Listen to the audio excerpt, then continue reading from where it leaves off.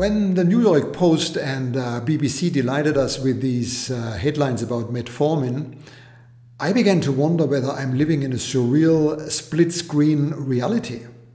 On one screen, the BBC assures us that it sounds like snake oil, but there is a growing body of research that's betting on making it a reality. And on the other screen, this body of research tells me otherwise.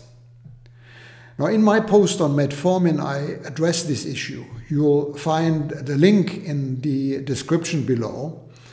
Uh, but here's a brief. First, what is metformin? Metformin is an anti hyperglycemic agent. Hyperglycemia is science speak for high blood sugar. If, high, if blood sugar is high enough, it's called diabetes. And metformin lowers blood sugar concentrations. On one hand, it dials down the liver's glucose production, and on the other, it amps up glucose disposal into the tissues that store glucose, mainly muscle tissue. Now, healthy people don't need metformin because the hormone insulin uh, does all this job. In diabetics, insulin doesn't do that job so well anymore, so metformin serves basically as a crutch. Now, in a 2014 study done in the UK, uh, the study seemed to show that diabetics on metformin lived longer than age-matched non-diabetics. Now you can imagine how exciting this discovery sounded because if diabetics on metformin live longer than non-diabetics, what if we give metformin to healthy people? They should live even longer than that. Now, there are four major flaws with this study, which I discuss in my post. One of which, one of those flaws is bias. Two pharma companies funded this study. Both companies are big in selling metformin. Several of the authors were either employees of the companies or employees of a consultancy company financed by pharma.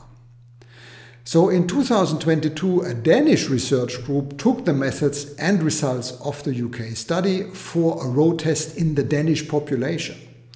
They eliminated the bias and all the other issues, and they even included a population of twin pairs in which one twin had diabetes and the other didn't. Now, twin studies are a very powerful tool in eliminating unknown confounding. And what the researchers found made a lot more common sense. That treatment with metformin did not make diabetics live longer or even as long as non diabetics in the general population. Now, what we are left with is two large scale retrospective observational studies, one suggesting that metformin is an uh, anti aging agent, and the other saying, no, it isn't. So, which is which? The only study designed to answer that question would be a prospective, randomized controlled trial.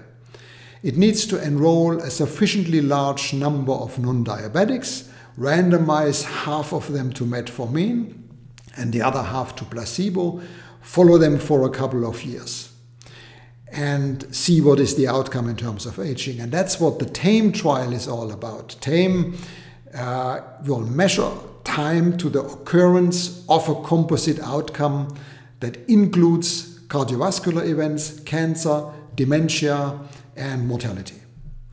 Now, that study was supposed to start in 2015, but until now it hasn't. The reason? Lack of funding. Now, in my post, I answer the question of whether you could do your own personal TAME trial.